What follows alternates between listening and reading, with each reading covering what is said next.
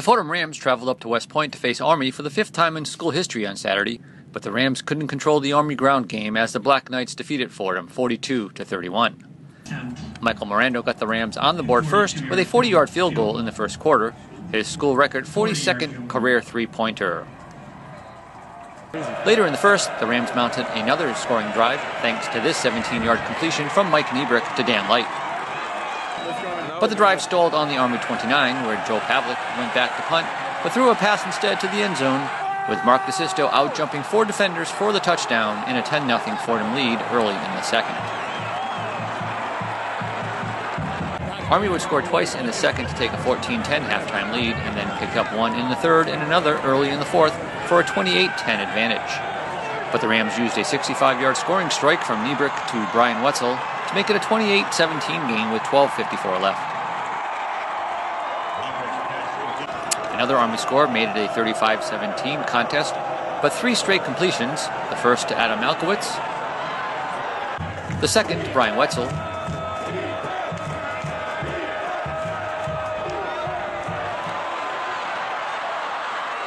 and the third, an eight yard touchdown pass to Tebucky Jones Jr., made it an 11 point game again with just over five minutes remaining. Jones for the touchdown.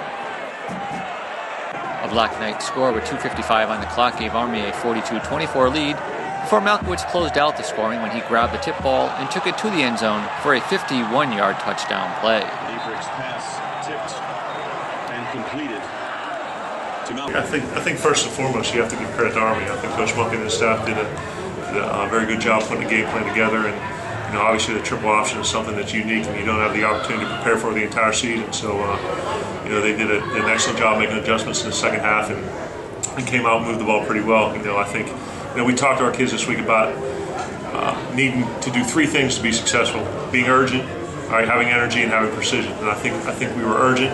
I think we gave great effort for four quarters, uh, and I don't think we were precise enough. You know, in, in the first half, you know, defense played very well. We moved the ball between the 20s offensively, but had a turnover and, and didn't convert in the red zone.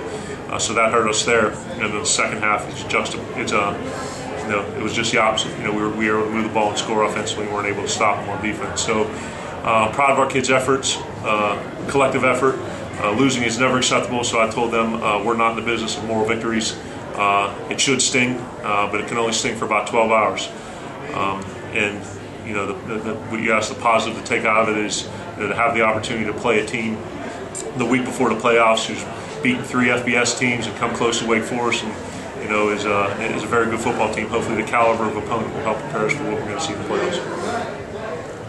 You started things very strong, get out to a 10 point lead off the fake punt. Yeah. What, what made you call it the fake punt?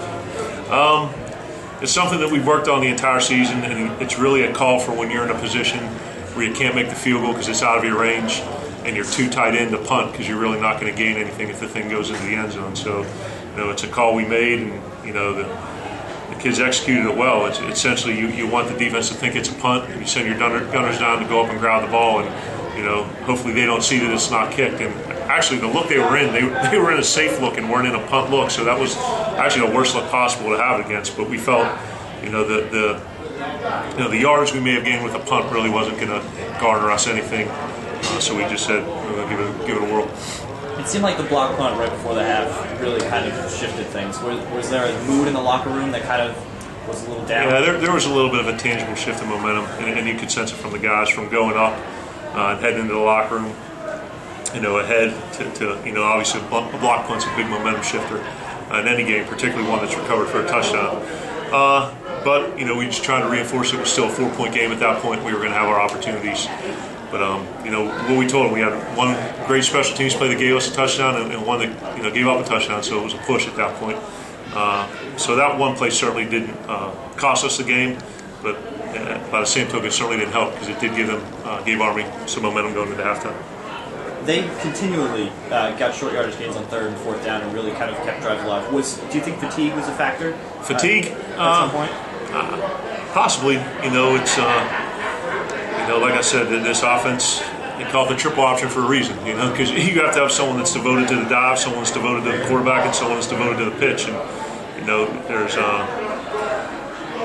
you know, you have to commit to doing something during the week to defend it, which you don't do during the season. And obviously, You know, uh, they ran the quarterback sneak very successfully. You know, they, they ran very well with Dixon on, on the dives and things like that. And our kids fought and they tried hard. And you know, that, that's part of the you know the thing with you know, the FCS level having you know 60 scholarships as opposed to you know full complement, the depth thing. But that's not an excuse. I mean, that's fact. So uh, we. Um, you know, they did a good job. You know, I tip my hat to them, and you know, they, they did a great job converting third and fourth and shorts, and we needed to get off the field, and, and that's certainly something we could take away and learn from.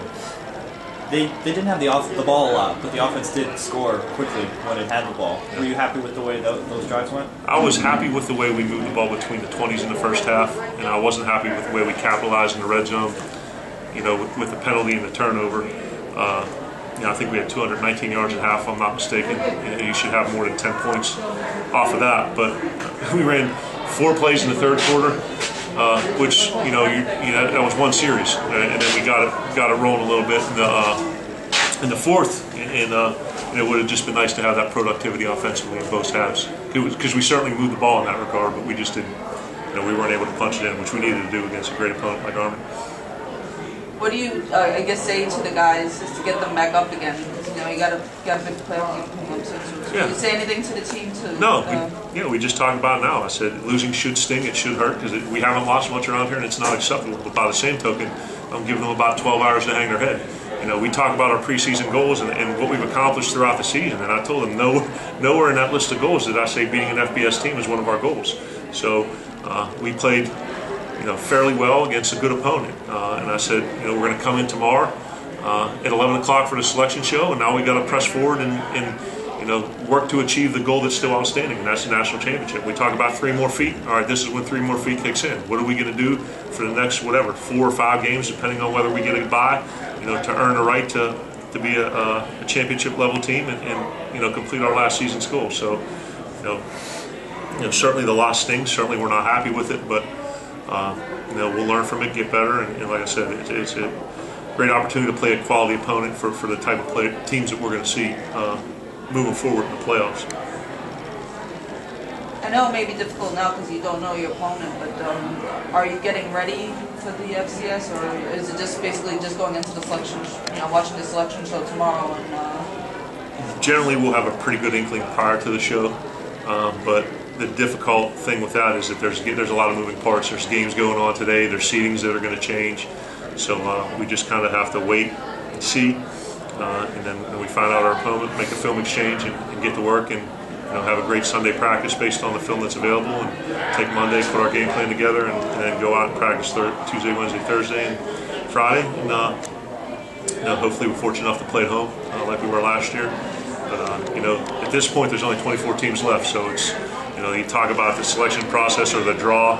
Anyone you get at this point in the state, at this stage in the game, you know, is going to be a quality opponent. So you know, our kids are ready, and the great thing is we've been here before. And we've been down this road last year, so now we not only know the things it takes to get here, uh, we know the things that uh, it's going to take to, to move ahead of where we went last year.